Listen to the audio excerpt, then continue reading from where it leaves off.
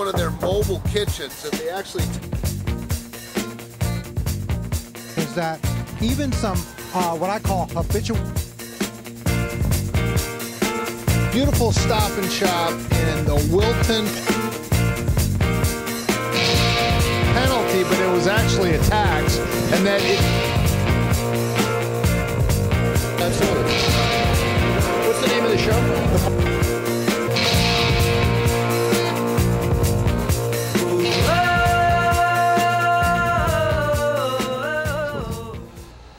Good evening and welcome again to the Marty Heiser Show. We've got an incredible show lined up. You will not believe what you're about to see on this show because, you know, as I live, and I'm 55 years old, and I know you're saying you don't look 55, but I am. I'm 55 years old, and I've come to know that there are some tough guys in the world.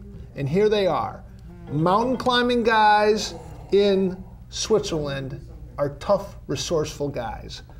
Special Forces operators, your Navy SEALs, your Army Rangers, those are tough guys. And there's another person, another type of person that's a tough guy, and that is a professional hockey player. And tonight you're going to meet three of them right here, along with Bruce Bennett. Yes, that Bruce Bennett is right here in our studios. And Bruce Bennett is the owner of the Danbury Titans hockey team. And we're going to be talking about everything having to do with Danbury Titans hockey. And if you haven't been down to the Danbury Arena, now I realize that this is non-commercial public access radio, so we're not we're not doing anything of a commercial nature. I just want to tell you on a cultural level, You've got to get down to the Danbury Ice Arena. They have a game coming up this Sunday at 5 p.m. and they're going to be playing against a team from White from Watertown. Watertown, Connecticut, New York, Watertown, uh, New York, and there's a coach named Phil Esposito. If that name rings a bell, he used to be the coach here at Danbury. He's bringing his team in. You won't want to miss it. It's at five o'clock this coming Sunday, so you want to get down to the rink just for the cultural aspect of it. But I'm delighted to have Bruce Bennett with us. Thank you so much Thank for you, coming thank in. you. Thanks for and you me. brought your uh, uh, the head coach of yeah, the team, yeah. Dave Lunn, It's me. coaching the team as well as a couple of the players, John Shavio, Shiava. Shavo, and Dean Yakura. That's right. And Dean, you're the captain of the team. That's right. So what does that mean? What does it mean to be the captain of the Danbury Titans? I mean, it's just one of the you know the higher levels of leadership on the team. Um, I think when you're the captain, you take a lot of responsibility in in how the team is performing, and uh, I mean, you, you do a lot of little things to you know try and make sure the guys are doing their part and making sure that you know we're going in the right direction. Now, hockey is a game of passion. And sometimes you talk about like who's got control of the locker room. And are there times when you feel like you got to step in and you got to call some guys out, say, hey, you're not hustling, we're not supporting our goalie, we're not going hard to the net, uh, we're shying away from the physical aspect of the game? Is that your style, or is your style more to sit back and lead by example and, and that sort of thing? Um, I think it's a, it's a balance of both. I think as a leader, you need to be vocal. You know, you need to say things when things need to be said. Um, I'm, I'm huge on leading by example. I think that's one of the most important things. If you're if you're doing all the right things, um, working hard, uh, guys are going to follow. But if you're uh, if you're too quiet and you're not saying anything, a lot of times I think that's uh, it's kind of negative. You need to speak up and you need to let the guys know what's going on because you know there's so many so many aspects of uh, you know a hockey club, and if you're not communicating that, um, a lot of guys can get lost. So it's really important that you're that you're being vocal and. I mean, I don't want to say that anger ever comes out, but accountability is a, a big thing. So as a leader, um, you know, you really need to let the guys know what's going on. And um, at the end of the day, you're really being supportive. You, you, you want the guys to do well, and you want to make sure the team's going in the right direction. So it's a, it's a big balance of both communication and also leading by example. Well, I'll tell you, whatever you're doing, you're doing it right. I mean, you guys had a six game winning streak going. I think you're six for seven out of the last seven games. Um, what do you attribute that to? I mean, is it just kind of a quiet professionalism? Is there a rah rah thing going here? I mean, there was a Philadelphia Flyers team, they called them the Broad Street Bullies. Yeah. And it was like, you know, everyone was like just fighting all the time and stuff like that. You guys seem to have more of a finesse game. Uh, what do you attribute your success to? Yeah, I mean, I think we're starting to realize our team identity and, and what uh, what our strengths are. We're, we're a very skilled team. We're very fast, and we play we play a high pace game. And I think everyone on the team is kind of buying into uh, to what we need to do to be successful. And we've started to, uh, you know, play the right way every game. And when I say play the right way, I mean attention to the little details of the game that really add up to uh, results at the end of the night. And you know, we have a young group. It's uh, you know, it's new coaching, new systems. Everything's kind of new for a lot of people. And um, as the season goes on, we continue to build, continue to get stronger. And now, uh, you know, we're getting to that point where we're seeing the success in the win column. And I think you're going to continue to see that as the season goes on, just because that familiarity is such a big thing in order to be successful. All right. Bruce Bennett, is there anything funner than owning a professional hockey team? Not so far in my life. Uh huh. This is does this, This beat the is- heck out of the uh, Nissan car dealership business? Yes, it does. Maybe not. maybe not 30 years ago when I had all that excitement of being a new car dealer and smelling that new vinyl or leather and getting in a new car. That was always exciting to me. Uh-huh. But this is um, a different type of challenge. It is truly, Dean. What Dean just said is he said it very, very well.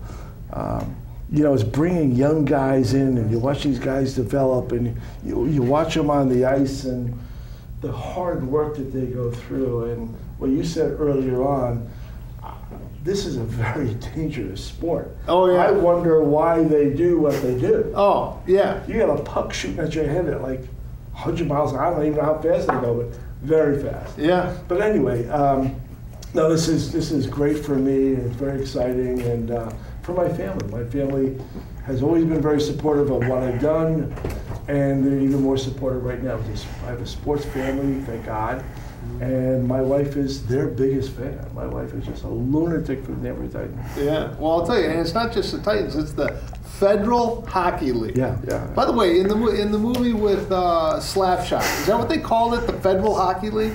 Was the federal hockey. League. But that was a I- I- movie. It was a Federal Hockey Yeah, yeah. League. You know, the Hanson brothers, and you know, putting on the foil Yeah. coach and stuff like that. That was called the Federal Hockey League. Yeah. All right, I guess it was. Let me tell you my quick story to that. Please. I had never seen that movie. Never, never, never. I was never even a hockey guy. I didn't. Even, I didn't follow hockey, and then I get involved with this. Because you know it's funny because I met you like the first time I was refereeing one of their preseason games, and you come into the referee's locker room and you sit down. You brought us Gatorade, as I recall. It's between periods, couldn't drink yet, and he said, "Now what's with this blue line? How does that work?" but sorry, I don't uh, to give up your spot. Go ahead. Well, So we went over some of the so, rules. so I kept on hearing about the Slapshot movie. Now I already already committed. I already put my money in. I, I was owning two teams, Yeah. and I said to my wife one night, I said, "Let's watch this thing." so, so I get it on TV, and we're like 20 minutes after, and she said, "Why didn't you show me this a month ago?" yeah. But in that movie, they had an absentee owner who was this Yeah. aloof, rich woman. Yeah. And Paul Newman had this great interaction with him, something about her son and how she should, uh, you know, get remarried or whatever. I forget But, but I love what I'm doing. I, I truly do. I, I love the whole thing. I love I love going to work in the morning. yeah. And going to work is hanging out with these guys in a locker room. There's nothing better. Okay, so Dave, you inherited this team from Phil Esposito. Now, Phil Esposito was the you know poster boy for you know rah rah, you know over the top. I mean, we've got footage, right, Victor? Am I right? We we, we videotaped. And by the way, we're coming down on, on Sunday if that's all right. We uh, you can come anytime you want. Okay, so we had these. Uh, this was in the playoffs, I think, last year, and it's not just the players that were fighting. Phil Esposito's like climbing over the benches to get to Oh, him. He had to get hogtied by the Danbury's finest. I think there was a felony involved, but no one pressed charges. But uh, you know, you strike me as a more cerebral. I don't know, players coach. What what is your basic philosophy to coaching? Uh, that's a good question. Uh, I don't know. You just kind of it's, it's a give and take feel process, but you know, obviously, you, I bring my own style to the game. I've, I've learned a lot from Phil as a as a I guess you, You want to call him him, right? mentor. Yeah, absolutely, a, a predecessor. You know, I, I've learned good things and, and bad things, if you will, and kind of other coaches as well, and brought my style to the game and tried to implement what I've learned not only in hockey but but life in general to to these guys. So what what what? Okay, on your team. Yeah. it's like the goddamn United Nations. You've got guys from Canada, you've got guys from like uh, Russia. Russia. You got, I mean, uh, let's. Uh, well, you, you got guys from uh, Ontario. Sure. Uh, and you got a guy from Newfoundland, which Yeah. is, uh, you know, it's Canada, but it's, kind of its own little country, which is a whole yeah. other story. You know, you got a guy from Iowa. I mean, how do you juggle all those different personalities, all those different cultures? Is there a common bond? Do you have to treat them differently? What do you do? Sure, common bonds hockey. Okay. They all understand it. You know, it, it's universal. You know, we've had guys from in preseason camp from from Japan, China. Uh, you know, we had Slovaks, we had Russians, we had Belarusians. You know, all these guys understand the game. They come from you know a common background. It's hockey. So when you know when they're in that locker room, they understand what's going on. They understand the rules and regulations. You know, for the most part, and it's it's kind of they all walk the same path. So it's pretty easy conversation outside of their first languages. Okay. John, you're you're chasing your hockey dream. You're playing. You're actually getting paid to play a game that you love. I mean, forget that the owner is here. Would you do this for free if you didn't get paid? I would do this for free any day. Uh, hockey's been my biggest passion my whole life. I'd live in a hockey rink if I could. I'd put my bed at center ice, but yeah, I love being at the rink, and to get it to do it as a job is absolutely amazing. Yeah. Okay. Now, who's tougher? Hockey players, or rate them one to four. Hockey players, baseball players, they're not very tough. Guys, guys sneeze and they pull an ab- a muscle in their stomach and they're out for a week. Uh, football players or basketball players, who would you say are the toughest? I think hockey's up top on that one, but uh, Gotta be. Guys take 20 stitches to the face, let alone not missing a game. They don't miss a shift. It's unbelievable. taking skates nowadays uh, to the wrist or to the cheek. If you've seen NHL games, I mean, there's guys getting stitched up on the bench, and yeah, like you said, not missing a shift, Yeah. not missing anything. Yeah. Wow. All right. So, what have you appreciated about playing in Danbury? It seems like, as far as the Federal Hockey League is concerned, Danbury is kind of the premier place to play. Is that overstating it? No, absolutely. I think uh, Danbury is the hot spot for the Federal Hockey League. We have great fans. I was uh, playing in Watertown to start this season, and I got traded here a little bit ago. Yep, from uh, Phil Esposito. So since I got here, everything's been amazing. Coach, obviously, all the staff is amazing. Dean's a great captain. Um, yeah, since I got here, I- you could tell in the atmosphere in the rink during the game to all the guys' camaraderie in the locker room is just way so, how higher. does that work when you get traded? Does Phil go, or does someone say, Coach wants to see you, bring your playbook, or how, how does that work exactly? it's crazy. You I mean- watch it on CNN or, or Sports yeah, Center? the, the way that everyone sees it at home is different. But right, this is your job. You, I take my car, I pack all my stuff in it, and you move away for the year or for the season, and you live with your teammates and things like that. And it was funny. It was a Monday, and we got back from a three-game weekend, had a couple of good games, and I got called in on Monday at 9:50 at night saying, "Hey, can you come to the rink? Really? We need to talk." And I,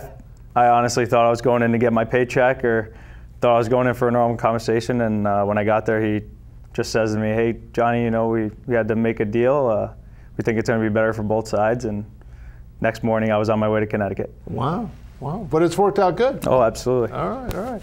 So now, uh, Bruce, as far as uh, as far as an entertainment product, what you bring, I've been to a lot of Danbury Titan games, and before that, you know, the other teams. What I'm noticing with what you're putting together there, very family oriented. Very schools are represented, lots of youth hockey programs. You had a Christian rock and roll band there, uh, pursuing JC. Uh, You know, last last game I was at. What's the philosophy behind it? What, what can people expect when they come out to the rink? that was one of the things that I um, I felt that I needed to do. I, I can't I can help Dave to put the show on the ice, but it's up to me to put the show for the fans.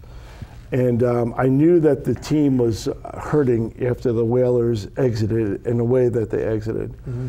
And they left a lot of sour taste in people's mouths and sponsors and fans and players and everybody. Mm. So I knew I had a challenge, but you know, that's what I'm all about. That's what I do. That's what I did as a car dealer for years.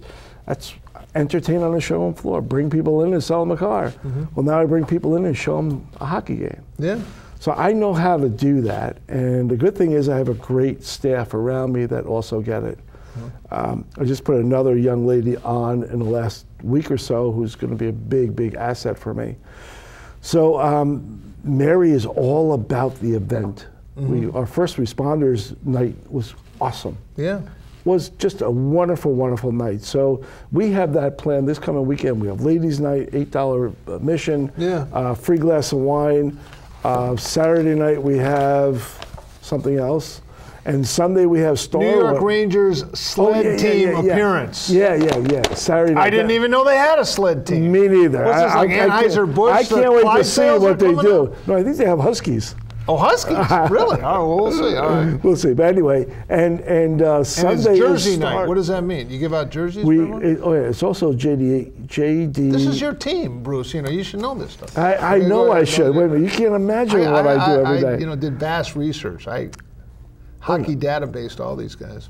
Jersey night. Oh, so we have a New Jersey. Uh, here we see our go. New Here we Jersey. go. Now we're talking. So this is this is what we're actually we wore it last week, but this is our New Jersey. We're going to run it for the month of January, but we do have a special jer- uh, jersey for juvenile diabetes Okay. that we're going to be auctioning off um, on Saturday night. Okay. That they've been wearing. It's a practice jersey. It's blue, um, and will be. And And, all the you had- proceeds go to go to uh, uh, the Diabetes Foundation. And I believe you had like breast cancer awareness jerseys, We've done pink that. jerseys, and I that's I invite a sponsor and come on in if there's somebody that you love, some organization that you like, Yeah. then we'll we'll help you with it. We'll help you fundraise it. We'll do a shirt auction. We'll do a stick auction. Uh, we do a 50-50, which I've given many of them out to local charities in- in Danbury. Uh, Lions Club just got one a couple of weeks ago, so. That's the way you're going to hook the people in, man. well, It's- I'll tell you, it's, it's all about family. There, there, there's That's a, what I want. I want. I want family in my arena. All right. Well, you, from what I've seen, you have plenty. You have a lot of family. And the other, a couple things, a couple thoughts I have. One is is is it's reasonably priced. Yes. You know, you can a, a, a mom and a dad can take their two or three kids Yeah. out and Joey Yeah. from down the street. Yeah. And you're not going to break the bank. Right. You know, you, you come in, the tickets are reasonable. I mean, it, it's uh, it's a it's a reasonably priced evening out. Yeah. And it's fun. I mean, I don't know. the- Like It's so these guys are. You know, it's interesting because you look at like you know hockey and, and you think, oh well, it's not the NHL. Yeah, yeah but it's not Oh, yeah. that far away from the NHL. No, it's not. You know, it, it, and, and it's like this is incredibly high level Yeah. hockey that's being played out there, and you get a front row seat to it. And these guys just leave it all out there on the ice. I mean, you can tell. Yeah, yeah, they, yeah. They care. they, And- they, they, it- it's, it's And Marty, it's going to be Friday night and Saturday night. We have the Danville Trashers, Thrashers, Danville Dashers.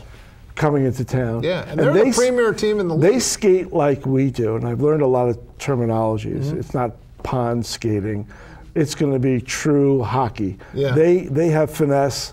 They're well coached.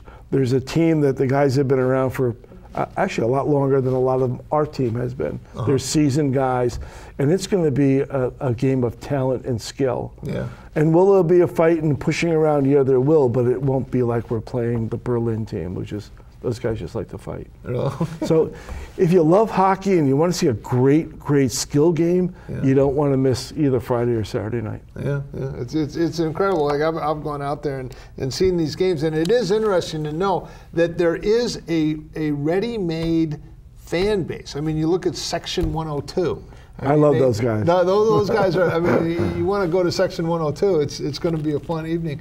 But there's a history here. I mean, you got to go. Through, I got to think of the teams. It was like the Trashers, and then Yeah. that guy went to prison, but still he had a good team for a while there. And then there was uh, Yeah. uh, the, the Whalers, and then who am I leaving out? There was another, the Mad Hatters, Danbury Mad somebody in Hatters. between there, yeah. Yeah, and so there's there's a ready fan base here. Yeah. And I can I can sense it even just being at the rink for a couple games. The the enthusiasm, people are coming out again. There's like, hey, this is. I mean, there's nothing beats winning. Yeah. You know, you, you've Yeah. been beaten up all, all week at work. You know, I'm a painting contractor, and it's really slow right now. And you, but you know, you go there, you have a beer, and the team wins, and you leave the rink going, you know, I forgot about my problems for an hour and a half, two hours here. I watched these guys, and we won. We Yeah. won. I mean, it's Yeah. just, it- it's contagious. It really is. yeah. I no question about that. That is so true. All right, Dave, let me ask you as a coaching. Yeah. What comes first, winning or good chemistry? In other words, does winning begat good chemistry or does good chemistry lead to winning? What, what comes first, the chicken or the egg? Uh, that's a good question too. Um, I, I, am a talk show host. Yeah, I think up these questions. I'm obsessed with this. I'm a firm believer in, in chemistry and um, camaraderie. You know, uh, I, I think that that comes first and foremost. You know, before winning, building those those aspects, and then winning's going oh, to follow beyond it. So I, I'm, like I said, I'm a firm believer in, in building building the bowl and then filling the bowl. Hold on. Building the bowl and filling the bowl. Yes, sir. That's kind of like, you know, it's not the size of the dog in the fight, it's the size of the fight in the dog. Caller, do you have a question for these uh, Danbury pro hockey players? Well, these guys, they, they, they, they're pretty good. I just want to say these guys out there, they did a good job. Hey, uh, caller, have you ever been down to the Danbury Arena to see one of these games? I will someday. You will someday. How about this weekend? They're playing the Danville Dashers. I will watch it like third. All right, you would like it. You'd like it if you come down to, to one of these games. But thanks for calling. Thanks for calling. Um, that's one of our guy. He calls all the time. uh, he's a good, big fan. Tony, if you're out there, get the whole group together from the group home and head down to the to the Danbury Whalers game. Um, but so you, you say it's the chemistry that comes first, Yes, sir. and then and then that begets winning. Well, I mean, winning can kind of develop the chemistry, but you know, uh, like I said, I'm a firm believer in, in building that chemistry. I was very keen and adamant on getting together guys um, that you know were of, of, of character, that you know were of proven. You know, I reference checked, I facts checked uh, a lot of their backgrounds before I brought them in. I was very um, very detailed on, on trying to find guys that would fit, that would fit cohesively together and, and build. How do you get these European players? How do you get the Russian players? How do you background check them?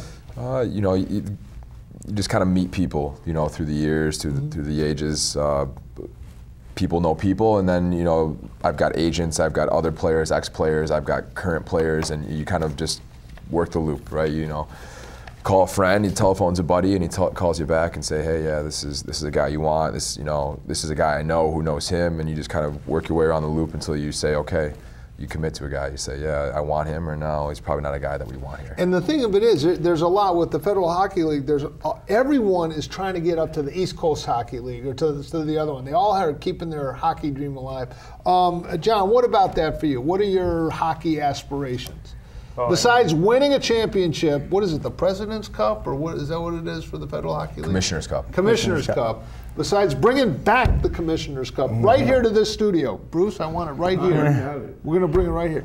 Well, what, what are your hockey aspirations? I mean, if you had to write the script. Oh, it would be to work my way up the ladder and obviously make it to the top. Obviously, play games in the NHL. I mean, make a career that way. Um, you see a ton of guys make it in the minors for years, East Coast, AHL, NHL, and uh, one of my friends just made it to the NHL and he's 30 years old. So 30 he played, years old. played college hockey. Is that the guy from Pittsburgh? He's from Long Island. Pat Cannone is his name. Who's he playing for? The, he the was playing for the Wild. The Wild, So he okay. finally got called up after all these years of battling, working so hard, you know, Bus getting rides traded. yep. Never never on a plane. Usually in the minors there's a lot, a lot of bus trips. And Yeah. I got to play a couple games last year in the ECHL and spend a lot of time there and it's just something that you when you see that level and you come down here to develop and obviously you want to win and make a great team here. Obviously your end goal is to keep moving up the ladder and obviously coach to every guy on the team. I think that's their dreams. Yeah, and it's interesting because as a coach, it's almost like that that uh, coach for I think it's like coaches for Kentucky now or something like that in college basketball. You know, it's like, hey, come to Kentucky, we'll get you in- into the NBA. You know, and they recruits these great talents. It's almost like you, you know, if, if you know, wow, if you play for the Danbury Titans, they can move you up a league if you can. It's kind of bittersweet because you want to you want to use your talents to, to win for you, but they're always looking to move up. Yeah, I mean that's that's kind of that's the nature of the business, especially at this level. Uh, Unfortunately, you know, guys guys want to go up, and, and you want to be able to produce them and, and tailor them, and, and you know, kind of uh, groom them for the next level. Because So is your phone ringing off the hook if some guy's doing really good? Like if Dave is, you know, got a hat trick and in a game and he's doing really well, are Yeah. guys calling saying, "Hey, we want to have him," or how does that work? phone's always always always ringing. You know, whether it's guys that want to come here or, or guys that you know, and a coach that needs a guy or, or whatever the case may be. They're they're reference checking themselves on you know, uh, the quality, the character, the, the details of the guy. So it's it's going both ways all the time, ringing off the hook. All right. So, Dave, you're the captain of the team. Would you describe your team as a finesse team, kind of a you know Edmonton Oilers uh, uh, minus Semenko uh, during their four cup run, uh, or the Broad Street Bullies like uh, the Philadelphia Flyers? What was that? The 70s or 80s? was I mean, 70s. so Yeah. how what would you describe if you had to give? You know, kind of a characteristics of the Danbury Titans. What would you say? I mean, just out of that comparison there, it's definitely like an Oilers team. You know, we uh, we play an up-tempo game. We're very, uh, you know, we play a fast game. Um, you know, I don't want to say our team isn't tough. I think we have team toughness, guys that are willing to stick up for each other. Um, just we don't really have those guys that are looking for fights. I just I feel like that's uh, less relevant in the game now. I mean, it, it still is an important aspect of the game, but everyone needs to be able to play. And Yeah. uh, I think the guys that you know are, wi- are willing to uh, you know drop the gloves when they have to, they're guys that can play the game as well. It's it's really important. Yeah, the, the era of Semenko or a Marty McSorley or guys that are just the goon on the team, and you have them there and you put them out there to kind of settle stuff. You don't really have that. I mean, yeah, I I guess uh, Brown, right? Dave Brown, is it? Uh, Steve. Brown. He's the toughest guy. I mean, all you guys are tough, but I'm saying you know, he seems to be a guy that is a bit of an enforcer. But what talent the guy's got! What finesse! I mean, he can move the puck up. He's a great defenseman. Um, he doesn't have just that one role. Is that kind of what you're looking for? Yeah, I mean, um, I think that element of toughness, it, it's only going to help the team. I think uh, when you got guys out there that you know aren't going to shy away from the physical stuff, uh, it just kind of holds everyone on the other team accountable. You know, when you got uh, players on the other team running around, you know, kind of taking advantage of guys and you know making dirty plays. I mean, if you don't have any toughness on your team, they're going to keep doing it, and they're just going to, you know, they're just going to wear your team down. But when you have guys like Steve Brown, who I mean, you might want to call him an enforcer. He's he's a he's a great player, and he, he really doesn't have to fight very often because No, he just no, he's, he's, he's, a, he's a big body. He's intimidating, and it, but at the same time, he does his job. And sometimes just having a big body and that presence on the ice, uh, that's sometimes all you need. Yeah, because in that game against St. Clair, down at your end of the uh, of the rink, uh, you know, someone took liberties with a player. He just shoved him, and the guy went flying through the air into the into the corner, the near corner from your bench right there. And that's all he had to do. He might have gotten a two-minute boarding penalty, but there wasn't a whole, you know, garage sale, drop the gloves, everyone's fighting. The the message was sent, and there was no more shenanigans after that. Yeah. I agree that it helps us play our game that we, we play. Like I think me and Dean bring a more skilled game to the ice, and having a guy like Steve Brown or we have other guys that like Junior Harris. He's a forward defenseman and playing all the roles. But like if someone takes a liberty on us, Yeah. we know that they have our backs right away, and it just makes our game succeed when we have that space or we get an extra second because they know, oh, if we touch them this way, you know, someone might be coming. And that's the one thing that it's, a little hard to explain on for you know the non-initiated in hockey. This concept of an enforcer. You know, Gordie Howe, probably the patron saint of hockey. I mean, he rest in peace. I think he just passed last year. But a Gordie Howe hat trick was a goal, an assist, and a fight. And you say, wait a minute, what kind of uh, image is that for the kids? But there's sort of a self-policing that goes on that it, it, it, it's it just it just works out, and it's part of the game. People don't like to say it. It's not necessarily part of youth hockey, but when you get into the pro ranks like these guys, it is part of the game, and and you definitely definitely need it, and it tends to it tends to work out. Mm-hmm. Lo- Final thoughts. What, what are your hopes? What are we going to see in January? There's lots of home games.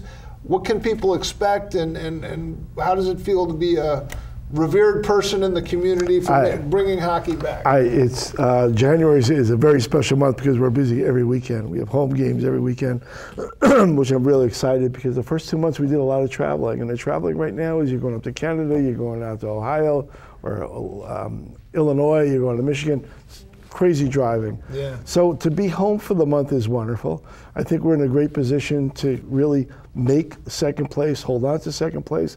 We have more challenges coming up in this in January because we're we are going to play Danville three times.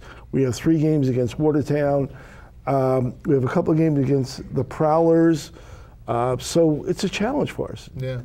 January is going to honestly make or break our season. Well, listen, thank you so much Hey, for coming in. thanks for having us. Really appreciate you. you you, got a great, a great team you're going. And Absolutely. I like your style. It's Thanks, cool, sir. collected, kind of Scotty Bowman esque. I like it. I like it. He won some cups. And thanks a lot. And I like your style too. I met you last year. You know, kind of, you know, uh, kind of straight arrow kind of guy. You're never going to hear about him in the paper, have you? You know, you know. A lot of assists, man. Yeah. A lot of assists. Lot He's of a great. assists, he's always know. there. He's always at the net. Yeah, I'm telling always you, there. Danbury Titans hockey down at the Danbury Arena, right in downtown uh, Danbury. It's just great entertainment for the whole family as a cultural aspect. Um, that's what I'm talking about. We're not being commercial here. We're not saying order before midnight tonight. But I'm telling you, these are some of the finest young men, and they play hard. And uh, it's just a great night out. So I'll be down there and hope to see you down there as well. Thanks again for coming Okay, in. thank really you. appreciate it. Okay, going on with the show, we have some exciting stuff going on. We are going to be joined by Chris Ponte. Yes, that Chris Ponte. Many of you know him. He's a he's a legend in his own mind. Is that overstating it, Chris? No, it's not. He's he's a, a man, a, a Renaissance man. He knows. Uh, he has a comedy. Uh, um, a career that's going on. If you've ever seen his comedy shows, it's unbelievable. In addition to that, he uh, is a kind of a foremost authority on, are you ready for it? Bible prophecy. So he has that going, a bit of a scholar, which is good. And also, he has some very particular political views, and he has something to say about the election that we just had. And to sort of get us geared up for that, I thought I would play this video. Um, just about the recent election. I don't know if you voted, who you voted for, or what it was about, but you might find this video, Victor. I don't know if we can get this. Um, interesting on uh, how this whole recent election, you know, there was an election. Donald Trump is now our president. And uh, see what you think about this perspective on how it all went down.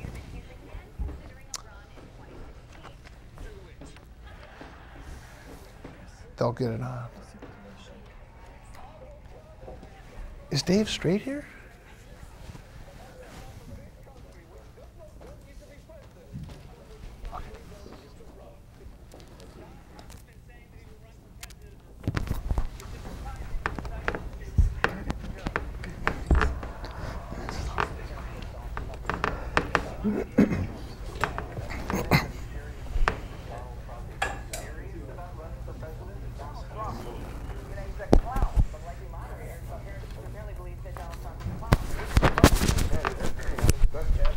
General election. Of the declared ones, right now, Donald Trump.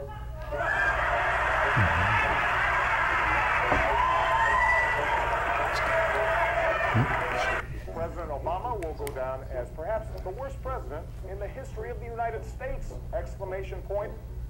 At real Donald Trump. Well, at real Donald Trump. At least I will go down as a president. So basically, this is the beginning of the end for Trump. The beginning of the end. The beginning of the end? Is probably starting of the beginning of the end for, for Donald Trump. Donald, uh, you're not going to be able to insult your way to the presidency. The strongest person usually isn't the loudest one in the room. So right now we have Hillary's about a 75 or an 80% favorite. We have different versions of the forecast you can look at. poll has Hillary Clinton up by double digits nationally, 12 points, 50 to 38, four-way race. Clinton leading in Florida, Clinton leading in North Carolina, Clinton leading in Ohio, Clinton leading in Nevada. I could go on and on and on. Uh, I continue to believe Mr. Trump, Trump will not be president. And so, right now, Mr. Trump, to answer your call for political honesty, I just want to say you're not going to be president, all right? It's been fun.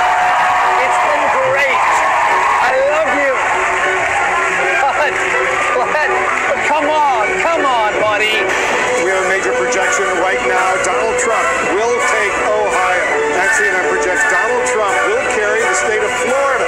Huge win for Donald Trump. Donald Trump, uh, we project, will win in Kentucky, in Indiana, with its 11 electoral votes. West Virginia, Oklahoma, Tennessee, Mississippi, South Carolina, Alabama, North Dakota, uh, with its three electoral votes. and South Dakota, Texas, Arkansas, Louisiana, the state of Montana, North Utah, Wisconsin, Arizona, Kansas with its six electoral votes, Nebraska with its five electoral votes, and Wyoming with its three electoral votes. Sorry to keep you waiting. Complicated business. A lot of people have laughed at me over the years. Now they're not laughing so much, I'll tell you. Wow, what an election! I'm telling you, that was uh, that was some election night. I had the privilege of being down at the Hilton Hotel in Manhattan when the returns came in and the Trump family marched out there. And uh, at the beginning of the night, everyone said, as you saw in the video, everybody said, Trump doesn't have a chance. He's going to lose. He's a joke. He's a clown. This is the beginning of the end. But everybody was wrong. And now we have President Donald J. Trump. For better or worse, he's going to tweet, he's going to shake it up, he's not going to take any crap from the media. This is a new kind of cat. So everyone just sit back and enjoy the show because it might get a little bumpy. But the people have spoken. They've had it up to here with all the elite liberals uh, that assume that everything can be managed from a small clique of, uh, of uh, super uh, elites in Washington, and people had had enough of that, and they wanted to take it back. And Donald Trump was their venue to do that. It was, he was their vehicle for this anger that came out. And uh, I, for one, voted for Donald Trump, supported him, and I'll be damned if he isn't our president. Uh, but joining me now is Chris Ponte. Thank you so My much. brother. Now everyone knows you. You're famous. No, Uh, no, no. You have your own show here at. Uh, yes, I have the, the Chris Ponte show. Yeah. And uh, runs on Tuesday nights from 7 till 8. And we have a lot of fun. It's uh, kind of like your show. It's interview based. Uh-huh. uh sometimes we have people in studio, but just sometimes I rant about Donald Trump. And I've had great, great joy doing that because his victory had to be, in the history of this republic, the most profound presidential victory because no one would go on the record for him. Not Fox, not CNN, not Hollywood, not anyone. And he bucked all the odds. Yeah. You know, I mean, no- and he handled himself beautifully. To be honest with you, I would have went hard, harder after Hillary Clinton in those debates. Yeah. But I guess he played it right because he got over 300 electoral votes, and he's our president. Yeah, yeah. I mean, it, it was. I mean, how do you explain it? What, what, what is the message? What, what? I mean, I have a kind of. I think people were sick of the elites telling them what to do, telling them what to eat, telling them how to behave. I think people were kind of sick of that. What, what was your reaction? What, why do you think Donald Trump won the election? He, he won because his straight way of talking resonated with everyday people. It wasn't double talk. It wasn't. It wasn't um, uh, uh, uh, something written by a professor or by Right, right. somebody learned uh, from Columbia or Yale. This was a message that was going to the heart of the everyday guy. Right. And right. and and the greatest example of that was what happened in Michigan. Never Yeah, yeah, in yeah, my life did I think that a re- that a Republican would get that state. But you know what though? Yeah. Trump put it so beautifully. It can't get any worse. And you know they thought about it and they're like, "You know what? It can't get any worse." And all of a sudden we have plants that are springing up in Michigan and expect that in Pennsylvania also. Yeah, I mean, it's almost like he's done more, and he's not even been uh, uh, sworn into office yet. He has He's bringing, he's absolutely. bringing factories back.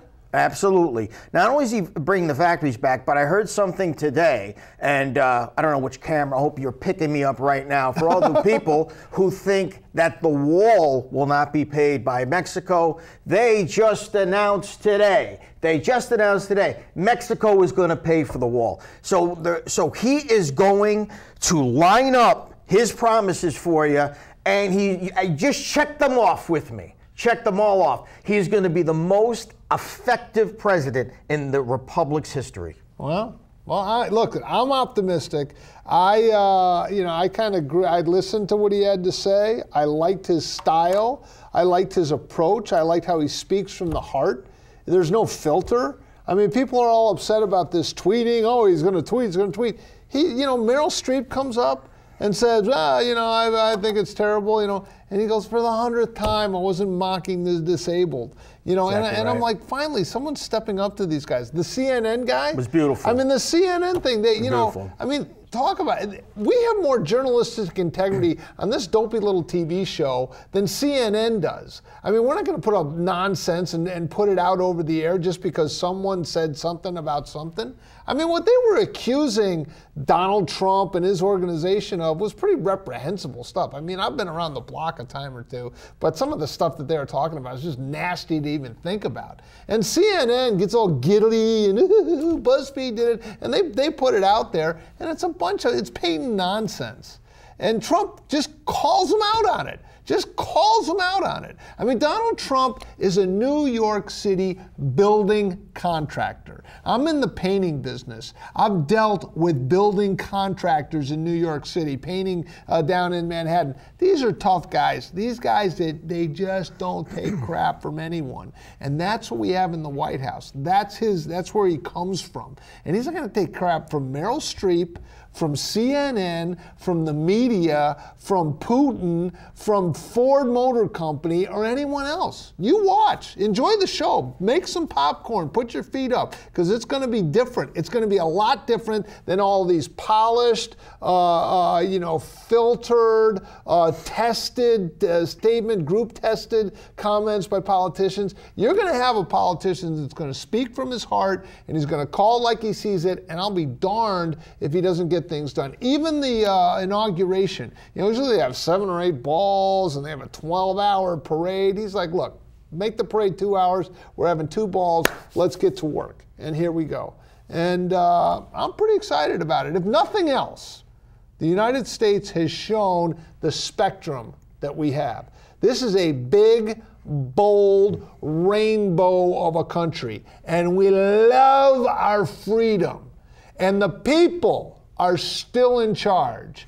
We don't like uh, royalty from across the sea. We rebelled against that, and we don't like royalty from Washington, D.C. either, dictating on where our daughters are supposed to go to the bathroom and who they're supposed to take showers with, dictating the size of the soda that we can have, dictating how our churches are supposed to think, dictating uh, all this other nonsense. People have had it up to here with that. They don't like to hear that the IRS is going after you because of your political views. They don't like to hear that the NSA is tapping the phones of James James Rosen of Fox News and his parents out uh, uh, um, uh, out in one of the burbs of uh, of New York City, they Staten Island. Google it if you think I'm lying. People had enough of it. Donald Trump came along and they said, you know what, let's give it to this guy. I like him. He's patriotic. He's not going around the world apologizing for the United States. He doesn't have this weird kind of love affair with radical Islamic terrorists that I can't really get my head around. This guy's going to bomb the hell out of ISIS. I think people like it. It's a breath of refreshing, of refreshment coming across, and let's see what happens. I love it. Um, to be honest with you, what happened in the early 70s with Richard Nixon, where the um, uh, issue had to be brought to life by tapes inside the Old Oval Office, Yeah. and justice was done. Um, Julian Assange played that role in Yeah. this election. He was the, the- he was WikiLeaks. the- yeah, exactly. WikiLeaks was the 18-minute smoking gun, as we saw in Watergate. I don't care that it took something like Julian Assange to get the truth to the people. Because let me tell you something, folks. If it wasn't for Assange, we would have been stuck with Hillary Clinton. Yeah, I mean, it, it was interesting because you know, they, the, yeah, this is uh, this was that night down at the Hilton. There's the vice president hanging out with him. That was fun. That's that lady uh, who's uh, Kelly Conway. Kelly Conway. We we email each other now. Oh, that's someone doing something at my office. But uh, there's uh, Reince Priebus. Look at me. I'm a pretty happy guy that night. You I'll do, tell you. you do look that, that was that was fun. So there was Trump giving his announcement right there. It was an exciting night, I'll tell you. I, I, I, I one of the Navy SEALs, that's uh, part of his team, uh, said, "Hey, you doing anything Tuesday night?" I go, "I don't know." He goes, "I got you through." so I got through Secret Service. I got a hat. I mean, this was an exciting night, I'll tell you. Um, but yeah, it's it's going to be interesting, and it's interesting because you know, the Democrats right now, I love this like Russia bashing, and it was the Russians, it was the Russians, you know, they, they did all this stuff. look, they there was emails, and Podesta. The, you know, it's so funny because all these liberals think they're so smart. Oh, we're into science. Mm-hmm. We don't cling to our guns and our Bibles. We're really, really smart. We went to Ivy League schools, you know. And they, the guy, his password for his, his email account was password. That was the password, the word password. And he's running around going, oh, the Russians hacked me, the Russians. I know, you gave up your password, you gave up everything. Everyone's hacking everyone. The United States is hacking the, the cell phone of Merkel, the head of uh, Germany, her cell phone in her car. I mean, everyone's hacking everyone, and that's been going on for years. It's interesting that uh, all of a sudden now this has become a big issue because Trump won. They're looking for a scapegoat. But, um, you know, it, it, it's just interesting to me to watch the Democrats squirm at this point. But basically, all WikiLeaks did was publish these emails that showed their internal decay and utter corruption. That's right. And, and listen, uh, uh, Marty, the bottom line is, is that all you need to know about the Clintons is what Hillary Clinton said back in the 90s that it was a vast right wing conspiracy against her husband and these women. Well, you know what? It wasn't. And they should have lost all credibility. I don't know how Clinton won re election in 96, okay? Yeah. But I'll be damned if I was going not to try to do my part, whether on my show or on this show and other shows, is that we got a little bit of our soul back by not allowing Hillary Clinton, and we have Julian Assange to thank. Yeah, no, it's true. And it, it was interesting that you put that out. Okay, now, you have an interesting perspective on some of this because you're sort of a student of biblical prophecy. Correct. Now, I realize, I mean, we're going from we're going from, you know, presidential politics to pro hockey players, but What's your perspective on this? I mean, I Well, assume you believe in God, that you don't think we're in- just kind of an accident, accident of a godless cosmos. But how no. does this all No, I'm not into it? Rob Reiner, uh, by the way, Uh-huh. or uh, uh, Bill Maher. Uh, but the, the, the thing is, is that the sitting president, President Obama, Mm-hmm. who is a Muslim, I don't care. Uh, you know my phone number, and you can swear at me and leave a message if you like. But he is a Muslim, and he set up this Now, just Paris conference. How how do you how do you come to that conclusion? Not, I don't necessarily disagree, but what are you, what brought you to that conclusion? Well, there's many videos on the net in Muslim garb. Um, he has connections. He has connections to um, uh, where we don't wherever he was he was from and he was allegedly from. There's some questions um, of Well, he was raised in Hawaii, Kenya, right? Ken, well, his father was from Kenya, but he, he, his mother, he, for part of it, he was raised in Indonesia. and during his formative years, he went to a, I believe, a Muslim school in Indonesia. and and plus he knows the the lexicon of the uh, Muslim faith. Well, he And- went to the UN and he said, quote, the future does not belong to those who insult the prophet, end quote. There you go. With insulting the prophet is kind of motivation for ISIS and some of these radical Islamic terrorists to do all kinds of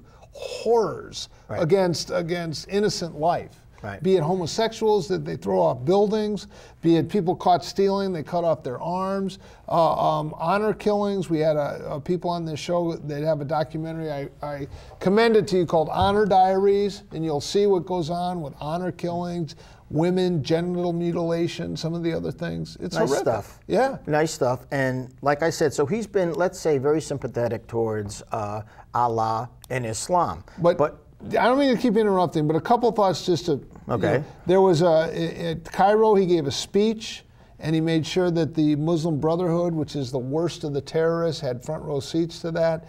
The Iran deal, where he gave 150 billion dollars to the largest state state sponsor of terrorism. He, you know, it's kind of like the Muslim uh, atomic weapon. Made sure that he got that. And then when Morsi took over, another radical Islamic terrorist took over the country of Egypt. He gave him billions of dollars in, in military hardware. So if he isn't a Muslim, he says he's Christian, whatever. He's certainly supporting that ideology. And in line with that, this Sunday, uh, January 15th, in Paris, France, there is going to be a large conference of 70 nations. And President Obama helped set this up. and it was going to be what is the future of Israel? Okay, what are we going to do with Israel and the Palestinians? And I saw the outline that they were going to be using at this conference, and it's not going to be just a bunch of people talking. There's going to be directives, and that directive is is for Israel to divide their land to the pre-1967 borders. Get this: they'll have to give up their Temple Mount, they'll have to give up the Wailing Wall, and they'll have to give up the uh, West Bank. Okay, I wanted to make sure I had those facts down. Now, why is that important? Because they have to come to this end stage, which is a two state solution, which is right out of the book of Joel. A two state solution will take place coming out of this. I'm not sure if it's going to be this year or next year or whatnot. I don't like to put dates on this stuff. But the very thing that they're discussing this Sunday, the Word of God saw 2,500 years ago, and His land will be divided. Hmm. So now, when you say two-state solution, isn't there sort of a border wall that's being weaved in right now on the West Bank, and there are Jewish settlements that are going continue to go up, Right. and on the other side of this massive protective border is the Palestinian. Correct. I mean, isn't it at the end of the day? uh, Isn't that going to be the dividing line where you have a Palestinian state and the Jewish state, But but the stick the, the, the, the key point though is Jerusalem. I mean, when you think of the Jews, you think of Israel and you think of Jerusalem. Yeah. They're saying, no, you're giving up that holy site. You're giving up Jerusalem, okay? And the word of God was very specific in the book of Joel that that would happen. And Israel wasn't a nation until 1948, and now we're at this point with all the strife that they have come to the solution, and that solution is parting the land and that was already in uh, already in the, the Word of God. And why is this important? Is because God's Word did not leave us questioning as to when the Messiah would return. The Messiah would return at the end of a seven-year peace agreement that Israel would sign with many. Remember, 70 nations with many, and it would secure their peace and it would give them specific rights in Jerusalem, which they also will be discussing. And the person that initiates that contract and brings that peace is actually the Antichrist, the man of sin. Hmm. And Jesus Christ of Nazareth comes back to the Mount of Olives at the end of that seven year period. So you could start to count down. The, the- this is the Hebrew calendar 360 days per year times seven. We know that as the book of Revelation, the tribulation, and the great tribulation. But the world is going to look at it like peace, peace. We finally have peace. But there will be no peace. You know, the one part, and, and uh, I've studied the Bible somewhat. I haven't studied end times. What do they call it? Eschatology, Mhm. I think, the whole, the whole thing. And a couple of things, I, cautionary notes I will say. Just about every generation since Christ lived has thought they were the final generation. When they were writing the, the New Testament, they thought this was it. Jesus was returning.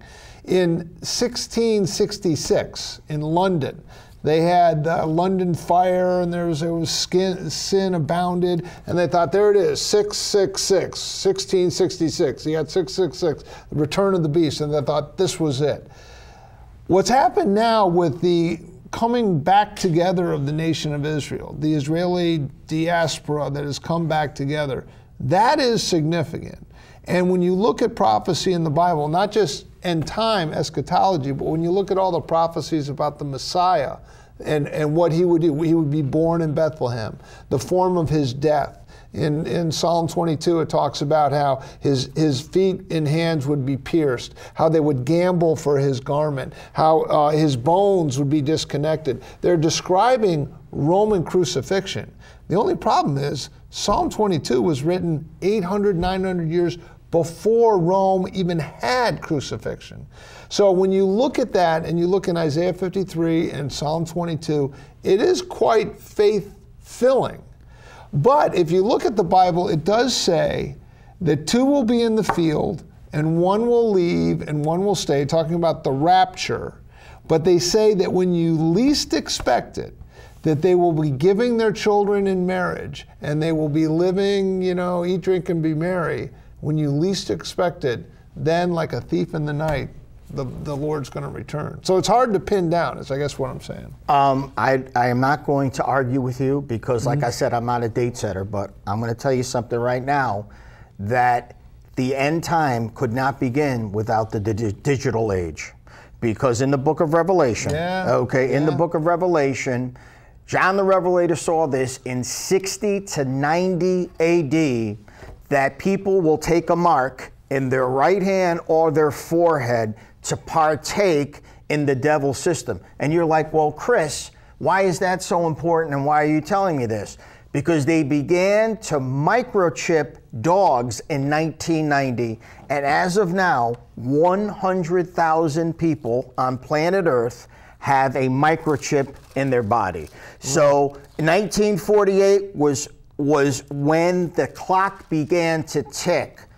But many prophecies could not be fulfilled until the digital age. And that began in the year 2000. Yeah, I mean it's it's really rather chilling. This is in the Bible, and I'll just read it from the Bible. It says, uh, "And he causes all, the small and the great, the rich and the poor, the free and the slave, to be given a mark on their right hand or their forehead. Some think it's like the, the scan bar, you know, like Exactly. you like you go and get your groceries. You take this mark, and it says, and he, he he provides that no one should be able to buy or to sell except the one that has the mark, either the name of the beast or the number of the beast. Correct. So who? I mean, here, you know, John wrote this in the first century. Right. So Mike, how, let me ask how would he how would he come up with something where you're going to take a mark on yourself and you're not going to be able to buy or sell? Remember, Yeah. the word says in. It, it- it's not on, it's in the skin, Yeah. in the forehead. This is implantable chipping. Yeah. Okay? Implantable chipping is what we're discussing. And that digital um, technology could not take place until the development of the transistor in the 1930s, the development of the computers, and now for medical reasons, chipping was part of the ACA. Yes, class two. Implantable chipping was part of Obamacare. But it is interesting to see right here in the Bible something that was written over 2,000 years ago. Correct. It talks about something that that is, is so modern. You can't make who, it up. Who, who, who thought that you know you wouldn't be able to buy? And the theory is that okay, there's going to be this antichrist, and he's going to outlaw religion.